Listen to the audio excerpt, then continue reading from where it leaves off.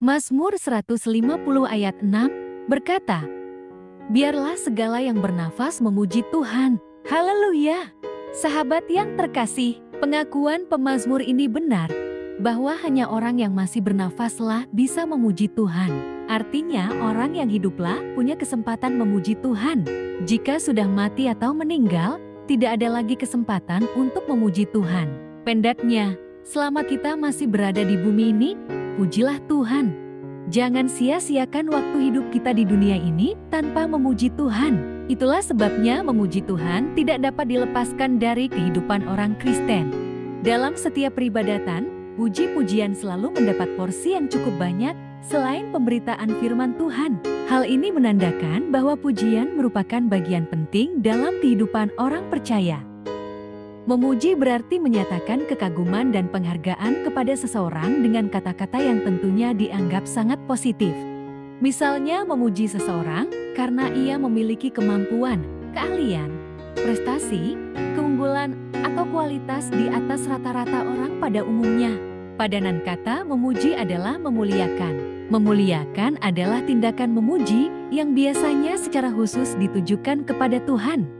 Orang yang memiliki pengenalan yang benar tentang Tuhan pasti tidak akan memuji Tuhan dengan sembarangan atau sesuka hati.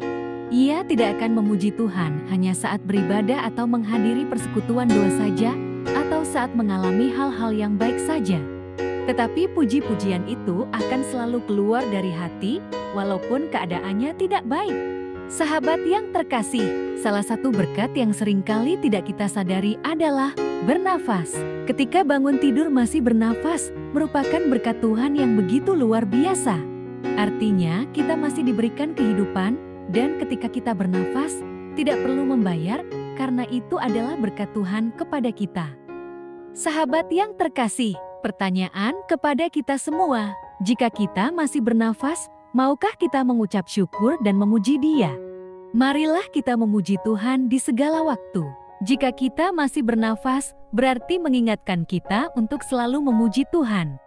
Nafas tidak bisa kita simpan untuk dipakai kemudian. Jika kita memilih untuk menahan nafas, maka kita akan melewatkan kesempatan untuk itu. Bahkan jika kita menahannya untuk waktu yang lama, kita bisa pingsan atau bahkan mati.